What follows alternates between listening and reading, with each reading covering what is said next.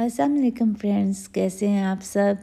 उम्मीद है हमेशा की तरह से खैरियत से होंगे, मज़े में होंगे। और आज मैं आपके लिए मटन पुलाव की रेसिपी लेके आई हूँ। तो चलें टाइम वेस्ट किए बगैर हम अपनी रेसिपी स्टार्ट करते हैं। तो इसके लिए हमें जो मसाले चाहिए, उनमें से कुछ मसाले तो साबत यूज़ होंगे और कुछ मसाले हम पीस के इसमें यखनी में शामिल करेंगे। और इसके लिए सबसे पहले मैंने तीन कप चावल लिए जिनको मैंने धो के अच्छे से भिगो दिया एक दो घंटे के लिए।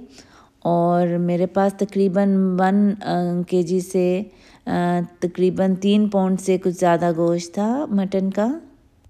और इसके साथ मैंने one and half tablespoon ginger paste और one and half tablespoon garlic paste Lee. One cup मैंने इसके लिए योगर्ट लिया। तीन से चार तेज़पात पत्ते लिए मैंने और दो स्टिक मैंने दालचीनी की ली। और इसके साथ मैंने धनिया, साबत तकरीबन चार टेबल स्पून लिया। नमक मैंने टू टेबल स्पून यूज़ किया इसके लिए और इसके साथ मैंने ऑनियन पाउडर तीन टेबल स्पून जिंजर पाउडर मैंने one and half tablespoon लिया। उसके साथ गार्लिक पाउडर मैंने one and half tablespoon लिया ज़ीरा मैंने वन टेबल स्पून लिया। और सौंफ का पाउडर मैंने थ्री टेबल स्पून लिया। इलायचियाँ मैंने तकरीबन पच्चीस के करीब ली। और लौंग मैंने दस से बारह अदद लिए। इसके साथ मैंने वन फोर टीस्पून जायफल one tea one four teaspoon ही जावत्री मैंने ली। हाफ़ टेबल स्पून काली मिर्च ली मैंने। तीन अदद बड़ी इलायची और तीन अदद ही बादियान के फूल हमने यूज़ किए हैं। और इसके साथ थोड़ा सा ज़ाफ़रान आप यूज़ कर सकते हैं खुशबू के लिए। क्योरा वाटर यूज़ किया, इसके साथ मैंने रोज़ वाटर भी, गुलाब का अर्क भी यूज़ किया था। तो सबसे पहले हमने अपने पैन में गोश्त ऐड कर दिया यखनी बनाने के लिए। और गोश्त ऐड करने के बाद साथ ही इसमें हम टू एंड हाफ़ लीटर पानी ऐड कर देंगे। इसके साथ ही हम इसमें साबुत धनिया और दालचीनी और तेज़पात के पत्ते ऐड कर देंगे।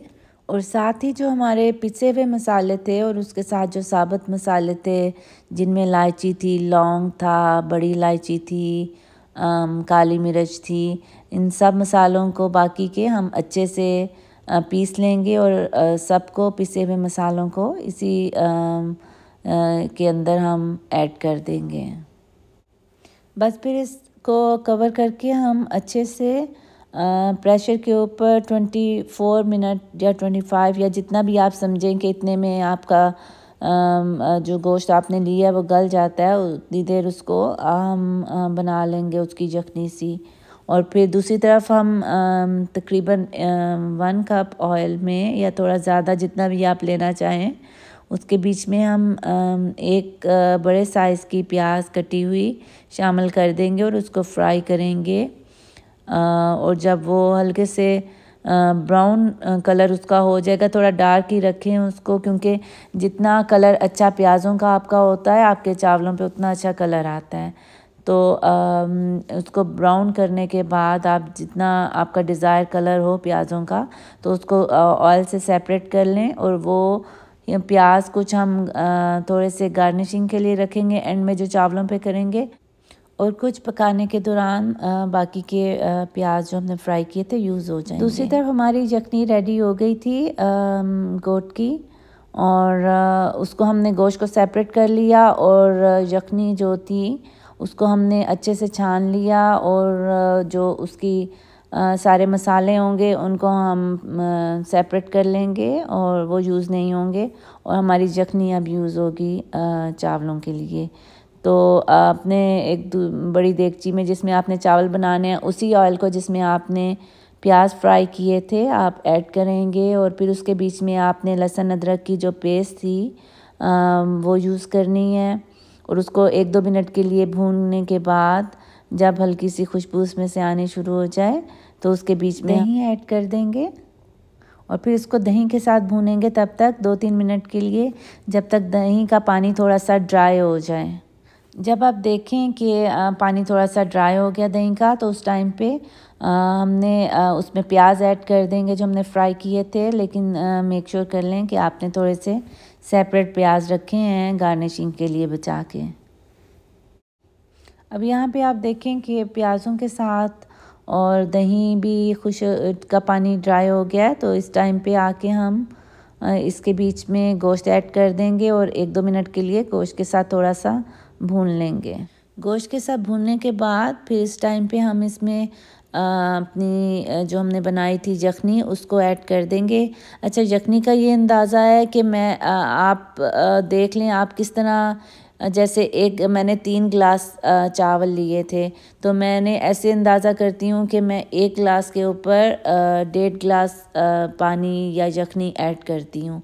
तो इस हिसाब से मैंने तीन गिलास के हिसाब से फिर ईच ग्लास पे वन एंड हाफ़ ग्लास लिया तो फोर एंड हाफ़ ग्लास मेरे तकरीबन साढ़े चार ग्लास यखनी मैंने इसमें ऐड किया चावलों के हिसाब से। तो आप लोग देख लें कि आप का पानी का और चावलों का क्या अंदाज़ा है किस तरह आप ऐड करते हैं तो उस हिसाब से आप कर लें। और इसके साथ मैंने सब्ज़ मिर्च ऐड कर दी। अगर आप एक दो सब्ज़ मिर्चें इसमें ऐड कर दें तो वो भी एक अच्छी सी खुशबू देंगे और फ्लेवर देते हैं अच्छा सा चावलों में। और उसके साथ ही फिर जब आप देखें कि यखनी को बॉयल आ गया है तो उस टाइम के ऊपर फिर इसमें आप अपने जो आपने पहले से एक दो घंटे के लिए भिगो के चावल रखे थे, वो ऐड कर दें। और इस टाइम पे अगर आप थोड़ा सा ज़ाफ़रान के थोड़ी सी ऐड करना चाहें इसमें ज़ाफ़रान तो वो भी ऐड कर सकते हैं इस टाइम पे। बस फिर इसको आपने हाई फ्लेम पे पाँच मिनट के लिए पकने के लिए रख देना कवर करके और फिर आप जब देखें कि चावलों का पानी ड्राई हो गया है आलमोस्ट तो उस टाइम के ऊपर फिर आप इसको दम पे लगाएँगे। तो चलें, मैं आपको पाँच मिनट के बाद दिखाती हूँ। तो यहाँ पे आप देखें कि चावलों का पानी आलमोस्ट ड्राई हो गया है। अब इसको मैं बिल्कुल लो फ्लेम के ऊपर दम पे रख दूँगी और दम पे रखने से पहले इसके बीच में मैं Quora water two tablespoon और rose water two tablespoon spread कर दूँगी और साथ ही इसके ऊपर हमने जो अपनी प्याज ली थी ब्राउन की थी और साइड पे हमने गार्निशिंग के लिए सेव कर ली थी। वो सारी स्प्रेड कर देंगे इसके ऊपर। और थोड़ा सा घी लेके उसको मेल्ट करके हम चावलों के ऊपर दम पे लगाने से पहले स्प्रेड कर देंगे। ये ऑप्शनल है, अगर आप करना चाहें, अगर आप नहीं करना चाहें तो आप इसको, इस पार्ट को स्किप भी कर सकते हैं। तो बस इसको दम पे लगा दें फिफ्टीन ट्वेंटी मिनट्स के लिए। और आप जब चेक करें बीच में कि जब आपको लगे कि आपका दाना अच्छे से चावल का गल गया तो बस आपके चावल रेडी हैं खाने के लिए। आप इसको डिश आउट करें और इन्जॉय करें।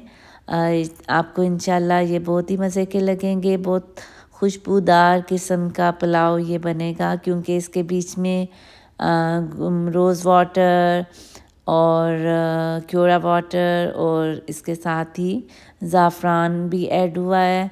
तो इसकी खुशबू आपको बहुत ही अच्छी डिफरेंट सी लगेगी। तो उम्मीद करती हूँ आपको ये रेसिपी भी हमेशा की तरह अच्छी लगी होगी। और अगर अच्छी लगी हो तो थम्स अप दें शेयर करें और सब्सक्राइब करें। इन नेक्स्ट टाइम फिर आऊँगी एक नई रेसिपी के साथ। अपनी दुआओं में याद रखें। जजाकल्ला खुदाफिज़।